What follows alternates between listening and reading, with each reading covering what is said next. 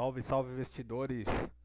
Vamos atualizar o nosso estudo semanal das maiores compras da semana. Na semana o Ibovespa ele teve uma leve queda, uma queda de 0,18. Pregão de sexta-feira terminou com uma leve alta, uma alta de 0,12. E no mês a performance é negativa, uma queda de 0,75.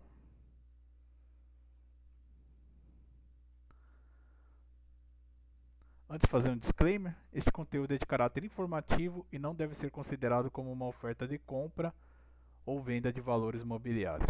Para investir, procure uma corretora de sua confiança e um analista certificado. Não nos responsabilizamos por eventuais perdas e muito menos administramos o capital de terceiros. Feito o disclaimer,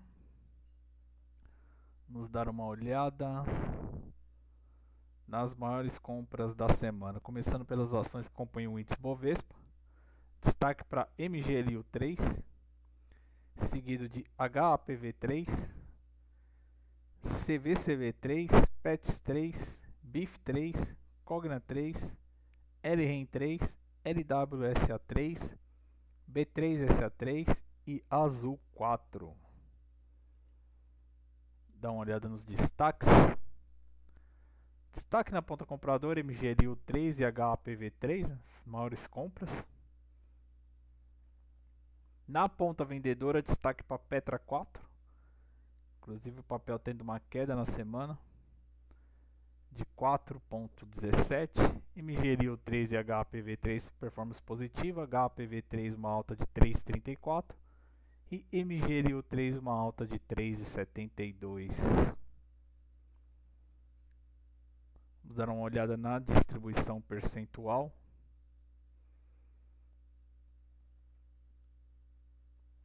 Por cento das compras direcionadas para MGLU 3, 8% para HPV3, 7% para CVCB3, 6% para PETS 3, 4% para BIF 3, 4% para Cogna 3 e 4% para LREN 3. Então, metade das compras concentrada nessas empresas. Uma, duas, três, quatro, cinco, seis, sete empresas, né? E chamar a atenção de vocês, ó, o Ibovespa em queda, correto? Queda na semana.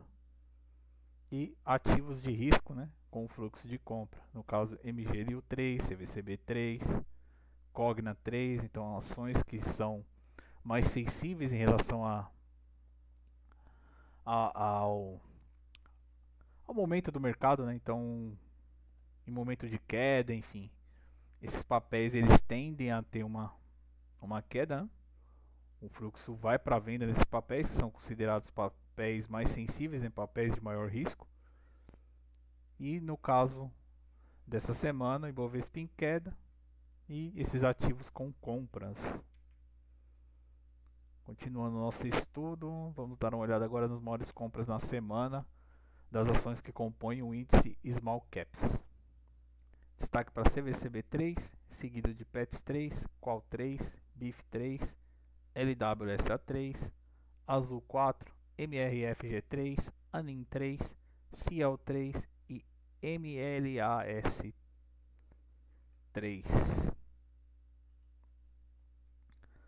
Dar uma olhada nos destaques. Colocaria como destaque CVCB3, PETS 3, Qual 3, BIF 3, LWSA 3, papéis com fluxo de compra e todos tiveram uma rentabilidade positiva na semana. Na ponta vendedora, destaque Gol 4, MRV 3, Soma 3, IFCM 3 e BRAP 4, né? os papéis com fluxo de venda e também com uma queda na semana. Vamos olhar para a distribuição percentual dessas compras.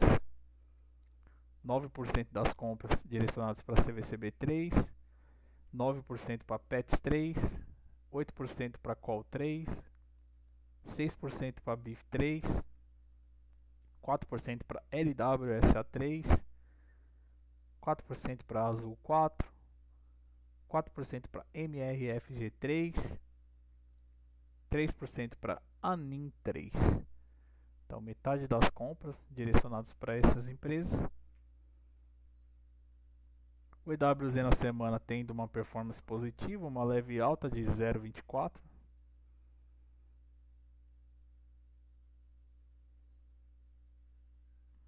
A tendência do mês para o EWZ é de alta e a tendência na semana também é de alta.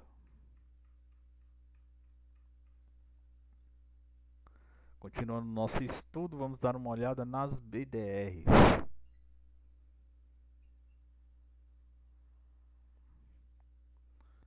Destaque para AAPL 34, seguido de NVDC 34, TSLA 34, CMCS 34, BERC 34, ITLC 34, PYPL 34, F1SL 34, GOGL 34 e M1RN 34. Dá uma olhada nos destaques. Colocaria como destaque a APL 34. Inclusive o papel tendo uma queda na semana, né? uma queda de 2,30 e a BDR que mais teve compra na semana. Seguido por NVDC 34, TSLA 34, CMCS 34 colocariam é, colocaria, né, coloco na verdade né? essas como os destaques. Na ponta vendedora, ABUD34, PFZ34, MEL34, COCA34, SSFO34 e MSFT34.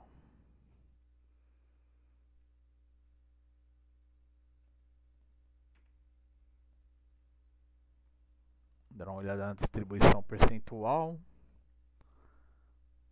14% das compras direcionadas para a APL 34, 11% para NVDC 34, 10% para TSLA 34, 9% para CMCS 34 e 5% para BERC 34.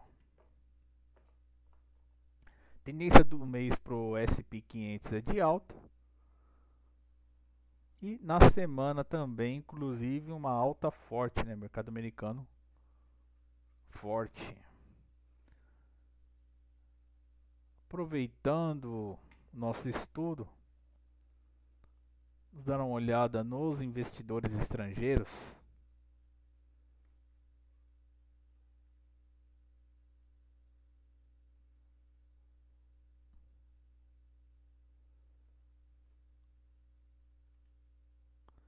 Dados atualizados da B3 com dois dias de, de atraso. Né? Então, no pregão do dia 28 de fevereiro, o saldo do mês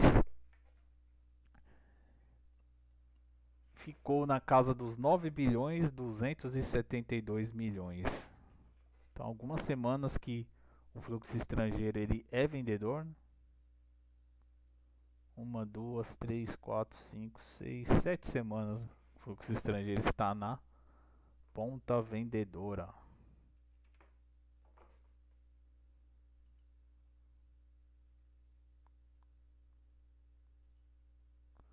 As últimas semanas né?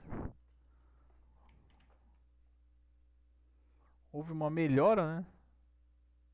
Não, é pouco. Semana retrasada 9 bilhões 448 milhões na ponta vendedora. Bovespa no 130.031 pontos.